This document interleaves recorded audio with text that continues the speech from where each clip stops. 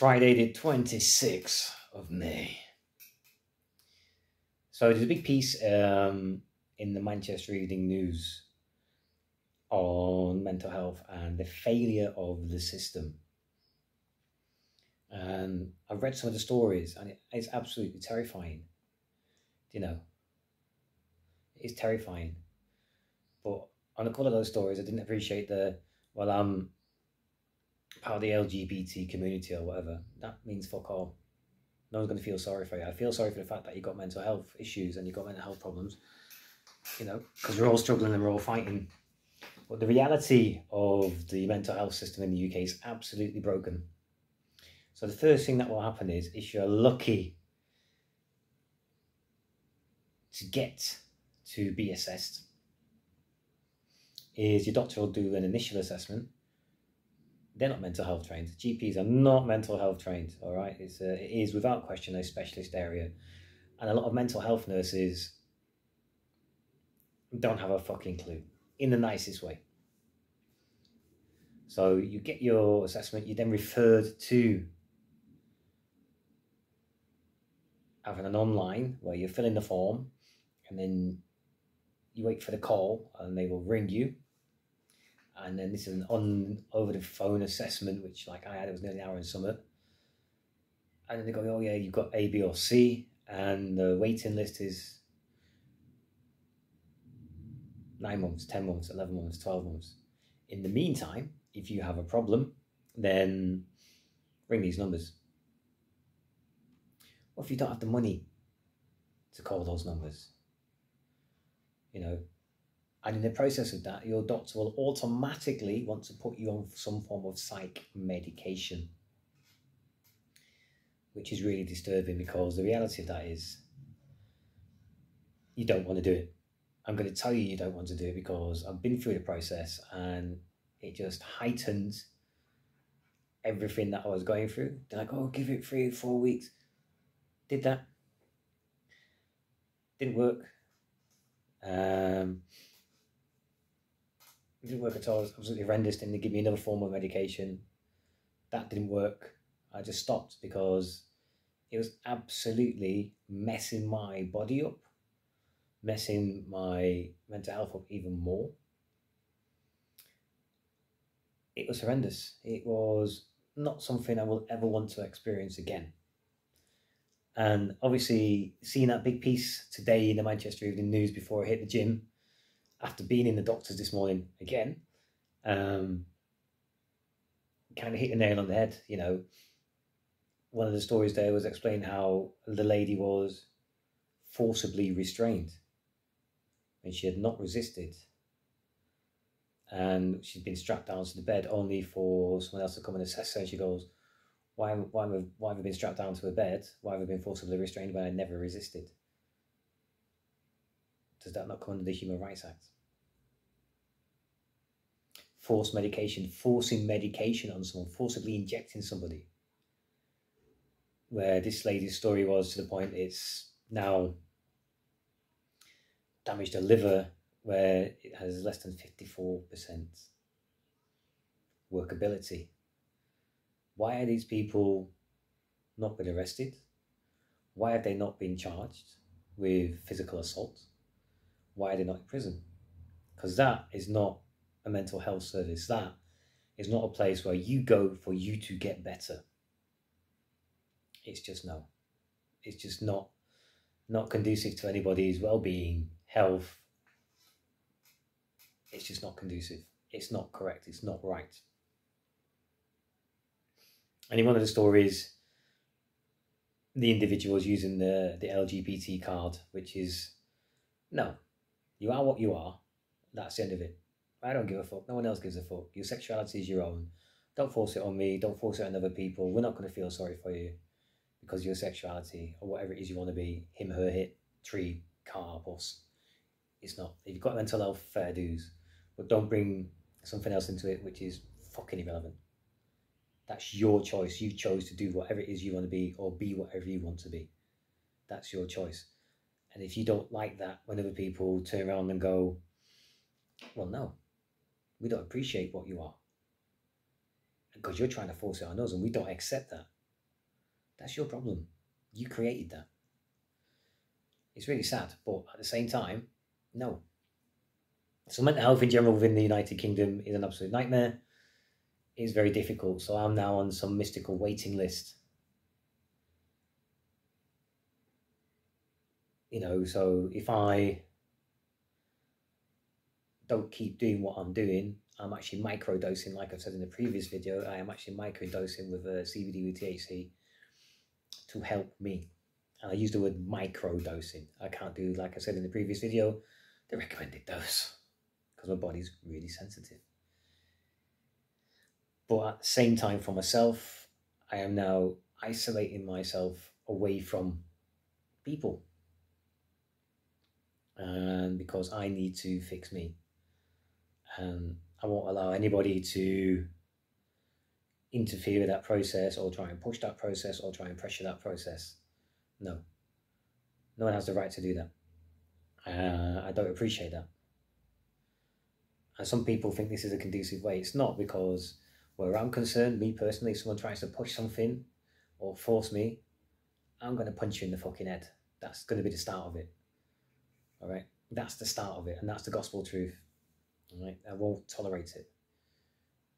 It's a slow process. As we all know, those of us that are actually really suffering from mental health, we all know it's a fucking slow process and it's very hard on occasion to talk about what is going on in your mind. Like my videos, my videos are very useful for myself. I would go back over them and have a look. It tells me how my mental health is actually fluctuating. How am I doing? How am I going? you know. And it's very important for me that I do these. Um, I recommend anybody else out there, you know,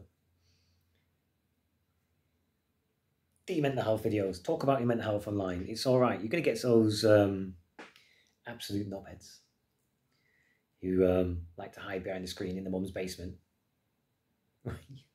them, which is fine.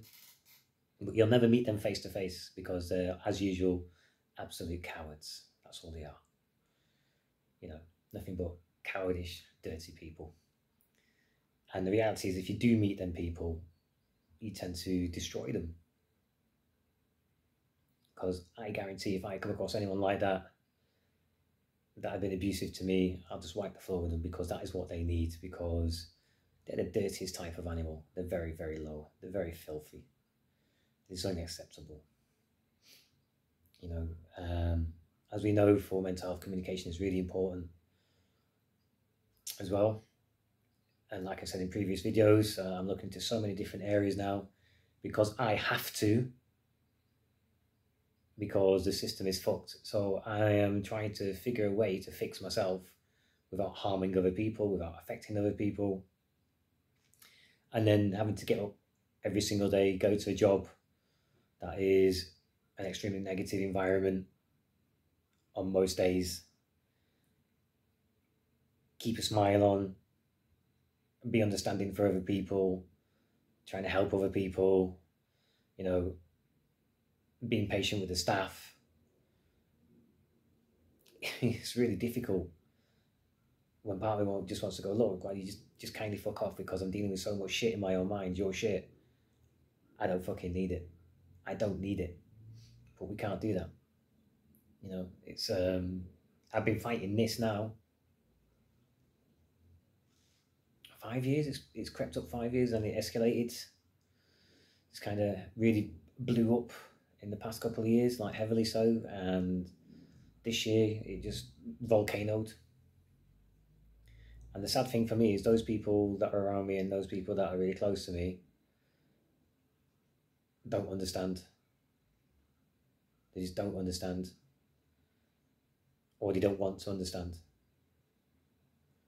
Or they want you to be the same because they have a form of control over you when you're like that. That's what it feels like to me. And I'm like, nobody controls me anymore. Not even in my job. If I don't want to do something, I'm not doing it. You know, I hate that attitude of we told you so or you were to no. You make a, a reasonable choice or sensible choice at that time that is beneficial. And if, if later on it is wrong, it's wrong that's life, that's the way it is. But we will never should and never should be persecuted for that. So yeah, unfortunately, the mental health system as it stands is absolutely diabolically destroyed. Uh, a lot of the people in the mental health system have no fucking experience at all. And that's really worrying. It, uh, the thing that worries me is you may go to university to become a mental health nurse, but reading reading books and doing theory will never, ever, ever prepare you for the reality. Ever. I think it's very important that there should be a form of on the job training from day one. And this should be across the board from community based mental health to hospital based mental health through to understanding what the counselor's job is, understanding what the psychologist's job is, understanding what the psychotherapist's job is, understanding that medication sometimes just does not work. It kind of like locks you in a box because you're easier to control and therefore you're not a problem. There needs to be some form of correct training where future generations of mental health nurses, mental health professionals have experience or even life experience. People my age should be looking at going into it because we have the life experience and we're understanding more. I think having somebody who's just come from uh, college to university to the ward to whatever, they don't have any life experience. They have an academic experience, but that's it. Academia will not save you in the situation of dealing with someone who's got mental health. I deal with people with mental health every single day of the week, especially in the city centre, especially where I am in Manchester, around the Piccadilly Gardens area. If you ever see me up there, please, please, please come and say hello. Okay? Never be afraid to approach me. I have a stern look when I'm on the job. I'm all right. Come and have a chat with me. Be my pleasure to speak to you. Doesn't matter who you are. Okay, if you see me, come and say hello and we'll communicate. Because communication is extremely important. So it's a bit of a waffle. I hope this is making uh, making some form of sense. The mental health system is absolutely broken.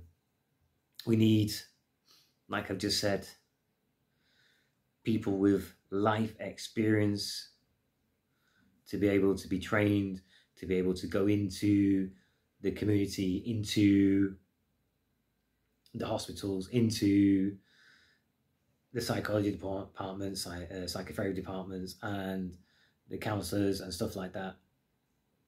It's really important. I think doing those types of jobs from an early age is a bit. Not that I'm against it.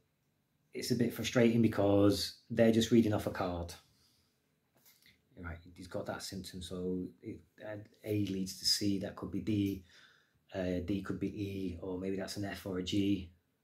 Don't know. I'm not sure there because they're not adding up. So we're gonna have to, and then we're giving those meds, but no, that won't uh, that won't agree with X. So we'll stop those meds and we're giving this meds that might go with A. They're fucking your life up, right? They're experimenting with each one of us individually because they can't figure it out. Mental health is not by being doped up. Mental health is not by being forcibly restrained for no reason, which is a breach of the Human Rights Act in that type of environment. Being forcibly strapped to a bed is a breach of the Human Rights Act when you have done nothing wrong. Okay? There's legalities there, there's laws there. Mental health isn't about that. Mental health is trying to help that person have some form of normality, have some form of life, and being able to get out and being able to interact and being able to become part of the community and in their own way become productive. It's not about throwing you in a fucking room, you know, dosing you up, having the wrong type of people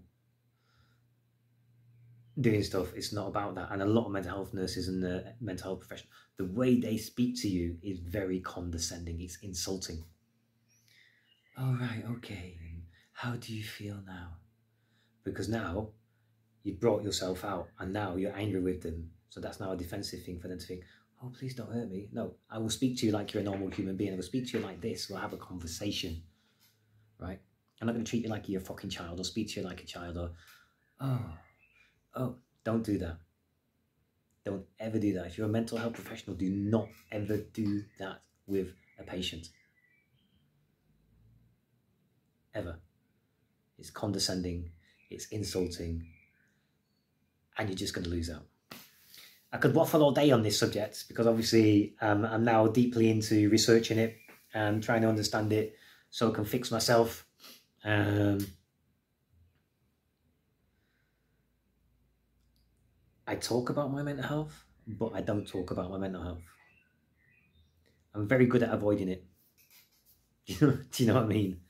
If I'm asked about it, I'll change the subject because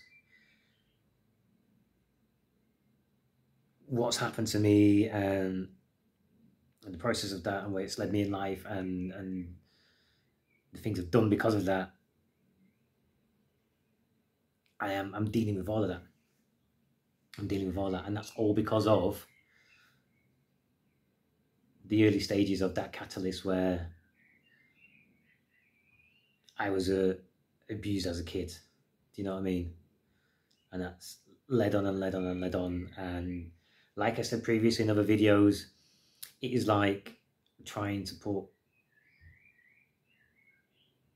a jigsaw together with nothing on it. Very strange. You know, I've got years where they're just blank. And I get snippets every now and then. And I have to look at photographs and stuff like that to go, oh shit, yeah, I was there, I did do that. Because it's blank. And in those time periods where I was doing what I was doing, there's a lot of violence.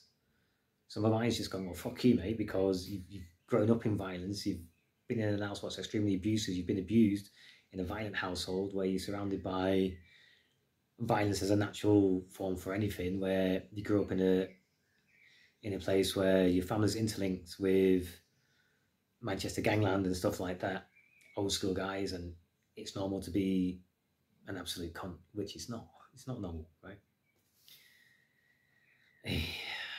The fight is real. The fight is real for all of us who are suffering from mental health. The fight is real. And ironically, I think people that suffer from mental health make really good counselors because we do. We're there for other people, right? Which is quite ironic. I I do a lot of counselling stuff for other people because I understand their shit that they're going through. I might even look at doing a few more courses related to that, even though I am going to go off and be a paramedic. Uh, I might look at doing a few more courses related to mental health. I don't think there's enough mental health practitioners for children, for teens,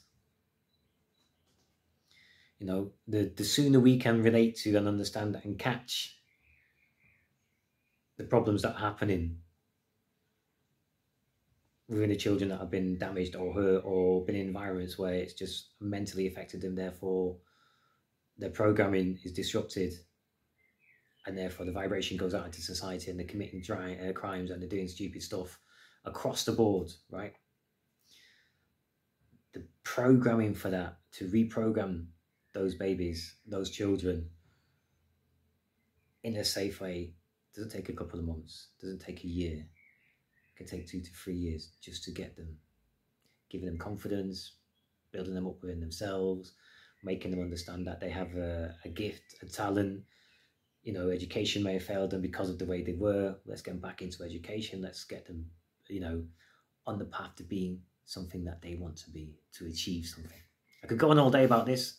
Not going to because it could be a 10 hour video. Stay safe.